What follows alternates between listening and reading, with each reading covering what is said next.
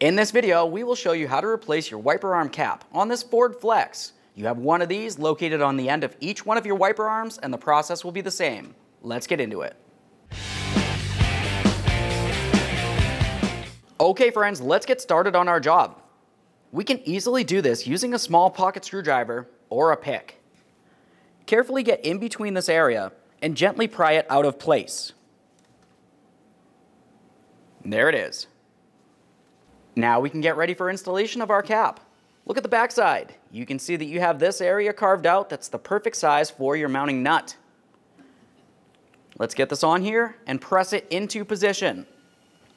Go ahead and take hold of it, give it a wiggle, make sure it's completely secured to the wiper arm. Aside from that, thanks for watching.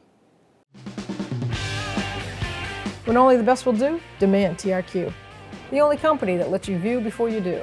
TRQ is committed to offering the highest quality aftermarket auto parts that are engineered for peace of mind. Thanks for using and viewing with TRQ.